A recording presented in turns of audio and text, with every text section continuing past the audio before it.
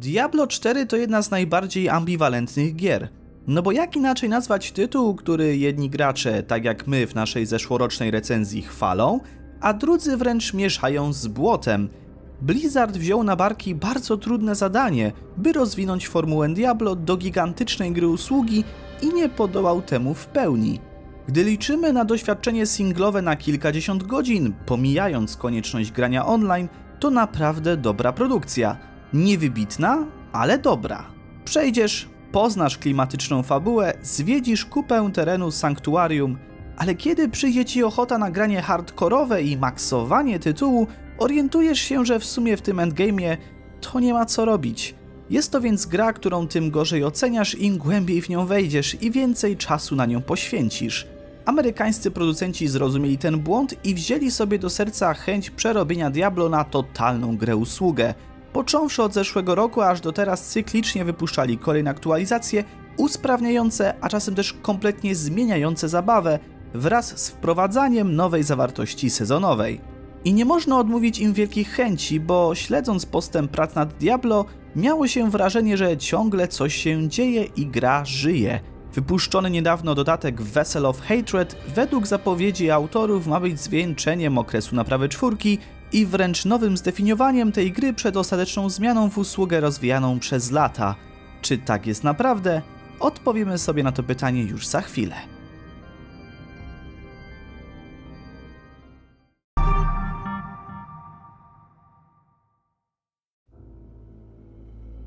Od razu zaznaczamy, że jest to recenzja z perspektywy gracza powracającego do Diablo 4. Jeśli oczekujesz zaawansowanych analiz zawartości endgame'u, szczegółowych wyliczeń matematyki stojącej za statystykami, systemem lootu lub porównaniami do treści sezonowych, no to tu tego nie znajdziesz. To opinia od laika dla innych laików. Właśnie takich osób, którzy ukończyli jednokrotnie kampanię w momencie premiery podstawki, liznęli sporo zawartości opcjonalnej, ale nie zagłębiali się mocniej w grę sezonową. A teraz wracają do gry, żeby przejść Vessel of Hatred. Czym jest więc ten dodatek? Jeśli jesteście z serią od początku, a przynajmniej od części drugiej, możecie się domyślać na czym polega nowe dzieło Blizzarda. To rozszerzenie, które oferuje kolejny rozdział kampanii, kilka dodatkowych mechanik i nową klasę postaci. W Vessel of Hatred wcielamy się w tego samego bohatera co w podstawce i kontynuujemy jego przygody w walce z siłami piekieł lub tworzymy nową postać korzystając z wprowadzonej tu klasy spirytysty. To profesja, którą można nazwać następcą mnicha z Diablo 3. Stawia na mobilność i szybkie serie ciosów, korzystając z duchowej specjalizacji przyznającej bonusy do ataku siłą określonych żywiołów. Bardzo przyjemna i jedna z mocniejszych klas, do której jednak nie radzę się zanadto przyzwyczajać, bo znając życie przejdzie z 10 zmian balansowych w kolejnych aktualizacjach. Ale ogólnie jeśli ktoś grał mnichem w poprzedniej części i był zawiedziony jego brakiem tutaj, sterując spirytystą odnajdzie się jak w domu.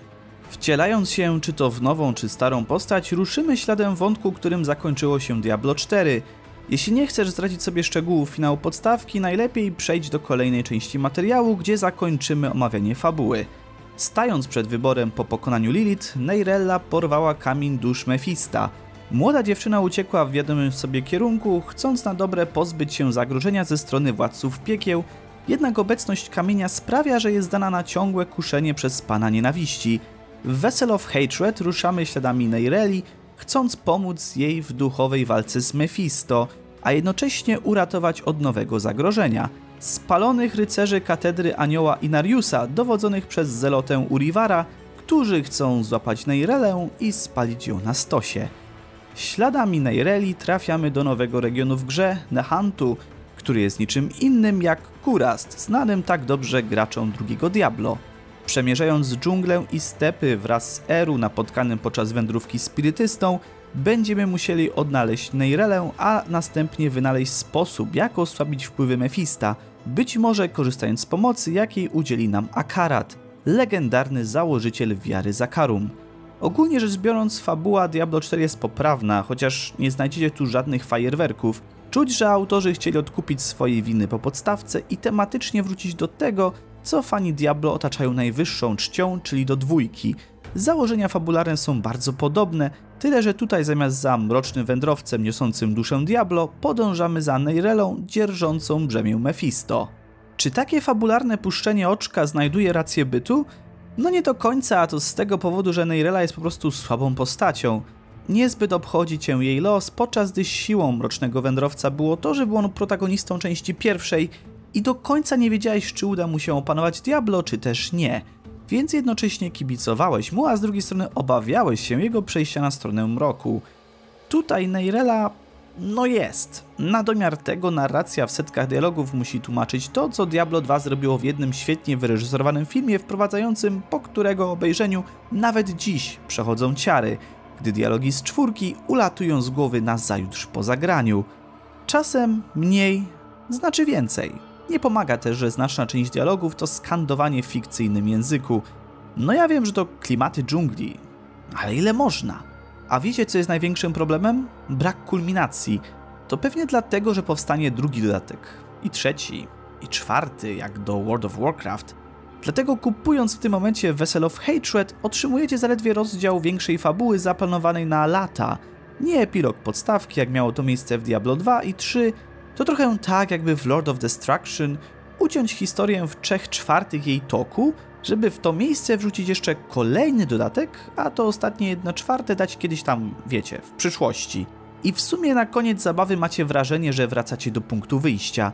Mam nadzieję, że Blizzard opanuje się i nie będzie niczym komiksy Marvela brnąć w zaparte w utrzymywanie statusu quo. Bo z jednej strony fabularne kręcenie się w kółko pasuje idealnie do gier usług, ale fani Diablo chcą ciekawej opowieści pchającej świat dalej, jak zawsze to było w tej serii, Scenarzyści stoją więc w rozkroku przed dojną krową, nie wiedząc za co ją złapać. Ale Diablo nie tylko fabułą stoi, lepiej jest, gdy porozmawiamy o innych fragmentach tego dodatku. Wraz z najnowszą aktualizacją wprowadzono kilka zmian, o które gracze prosili od dawna. Po pierwsze, pożegnajmy skalowanie poziomów wrogów do postaci gracza, które teraz zastąpiono poziomami trudności. W głównych miastach możemy ustawić sobie z jak wymagającymi przeciwnikami chcemy się zmagać. Zmiana poziomu trudności wiąże się z otrzymywaniem lepszych nagród i doświadczenia na wyższych tierach. To zmiana, którą z pewnością docenią co żarliwsi gracze, jednak dla laika, który chce zaledwie poznać opowieść, to rzecz prawie niezauważalna, bo złota i tak nawet na normalu będzie miał pod dostatkiem, a i awans na 60 poziom, obecnie maksymalny, to dosyć prosta rzecz przy wykonywaniu zadań pobocznych. Kontynuując mruganie okiem do fanów Diablo 2, Vessel of Hatred swoje miejsce znaleźli najemnicy – bardzo dobrym posunięciem jest wprowadzenie dla każdego z nich zadania rekrutacyjnego, dzięki czemu poznajemy osobowość tych postaci, której tak bardzo brakowało biegającym za tobą ludzikom w dwójce. Można ich też levelować, choć w sposób bierny, odbierając nagrody za kolejne poziomy nabijane przy okazji podczas walki z wrogami, jak i wydawać rozkazy dotyczące wsparcia. Na przykład, jeśli chcemy, najemnik może pojawić się na polu walki dopiero kiedy ktoś nas ogłuszy, Ciekawa mechanika, która jednak po części zamienia najemników w jeszcze kolejny skill do wykorzystywania. W niektórych przypadkach podczas zamieszania nawet nie zauważycie, że ktoś tam wam pomógł. No i nie można wymieniać ich ekwipunku, więc dwojga złego klasyczny kompan łażący za tobą, tyle że z zadaniem rekrutacyjnym wydawał się jeszcze lepszą opcją niż to co mamy obecnie. Blizzard wykonał dwa kroki naprzód w jednym miejscu, by w drugim cofnąć się znowu o dwa. Przerobiono również system ekwipunku całościowo w aktualizacji nie tylko dla posiadaczy dodatków, w związku z czym dotychczasowe wyposażenie powracających graczy będzie oznaczone jako relikty niezdolne do ulepszania. Już nie mamy bowiem kilku poziomów przedmiotów, a dodajemy do nich zdobywane podczas zabawy afiksy, po osiągnięciu 60 poziomu gracza móc je ulepszać. Rozkładając przedmioty legendarne niejako uczymy się ich bonusów, by potem personalizować swoje przedmioty w craftingu, to zaawansowany system pozwalający na tworzenie ekstremalnych kombinacji, jednak Blizzard mógłby lepiej wytłumaczyć jego zmianę, bo teraz z perspektywy powracającego gracza ktoś wyciął mu mechanikę, by powtórnie ją wprowadzić dopiero jak nabije 60 poziom. Można było pójść na kompromis i zostawić stary system, ale obudować go nową zabawę afiksami jako kolejny stopień wtajemniczenia w mechaniki. Dla graczy endgame'owych dodano nowe aktywności, takie jak podziemia Kurast – w nich dostajemy losowo wygenerowany loch, który trzeba przejść na czas. Dostajemy 100 sekund i na przykład każdy zabity wróg elitarny daje nam plus 5 sekund. Warunki są różne w zależności od tego jakie parametry sobie ustawimy. Przechodzenie podziemi polega więc na balansowaniu między wypełnianiem celów, żeby otrzymać więcej czasu, a zabijaniem wrogów na punkty dla lepszego łupu. Zaskakująco przyjemna formuła, chociaż nie wiem na jak długo będąca w stanie podtrzymać zainteresowanie grą. Weteranów Diablo 2 ucieszy też powrót słów runicznych opartych o runę aktywacji i runę efektu. Rzucając runy w ekwipunek samemu tworzymy nowe skille, np. polegające na zasadzie po użyciu mikstury przyzwij rój owadów. A eksploracja? W tym miejscu akurat nie zaszły żadne zmiany, dostajemy nowy region z zadaniami pobocznymi, lochami opcjonalnymi i znajdźkami do zebrania. Za przekroczenie danej wartości wyeksplorowania regionu możemy odebrać nagrody, tak jak to było w podstawce. Cieszy to, że dzięki osadzeniu akcji na terenach Kurast na uważnych eksploratorów czeka kilka nawiązań do Diablo 2, takich jak Git Bean widoczny w dokach, który zdobywaliśmy w jednym z zadań 20 lat temu. Będziemy mogli również odwiedzić np. Travinkal, choć znacznie zmienione przez czas.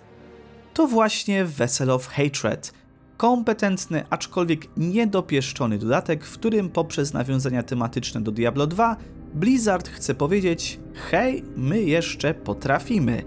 Kupując go spędzicie na eksploracji na Huntu kilkanaście dobrych godzin i jeśli lubiliście podstawkę, dodatek też przypadnie Wam do gustu, przedłużając obecność w świecie Sanktuarium. Rozszerzenie rzeczywiście chce aspirować do miana nowego otwarcia gry, wprowadzając dodatkowe mechaniki i urozmaicając aktywności poboczne. Odbywa się to jednak kosztem fabuły, która zdaje się nie tyle stać w miejscu, co kręcić się w kółko. Jeśli gracie w Diablo tylko dla opowieści, lepiej poczekać na kolejne rozszerzenia i wtedy zaopatrzyć się w edycję kompletną. A jeśli interesuje Was jedynie gameplay, sami już musicie sobie odpowiedzieć na to pytanie, czy warto dla takich zmian uszczuplić swój portfel o 170 zł. Bo jak na dodatek tego kalibru, to całkiem sporo. I to tyle z naszej strony. Jeśli podobał Wam się materiał, dajcie nam łapkę w górę i nie zapominajcie o subskrypcji. Gracie w Diablo 4? Graliście już w dodatek? Podzielcie się swoim zdaniem w komentarzu. Cześć!